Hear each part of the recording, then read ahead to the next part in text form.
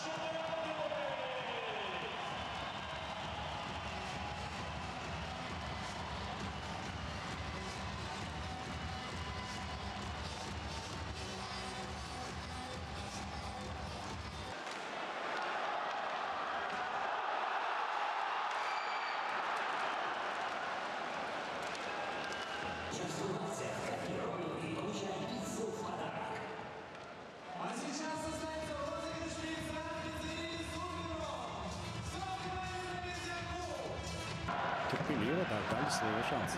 В терпении как раз столетница вряд ли уступит. Широков на Додонова и так сейчас Каня забивает удаление, по-моему.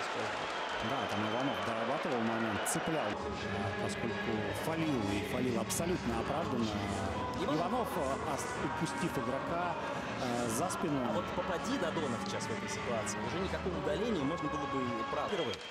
Так что у СКА хорошие шансы есть забить таки шайбу и закончить эту встречу уже раз и навсегда. Еще раз напомню, 8 лет. Гол. Все, СКА одерживает победу. Слушай, ну, а, прости, э, Илья Ежов, э, сегодня Тонков провел шикарный матч, но все-таки класс есть класс.